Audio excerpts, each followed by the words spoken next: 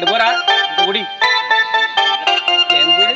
ఇంకో గుడి ఉంది కదా నీకు పాడి బెటర్ స్వామి.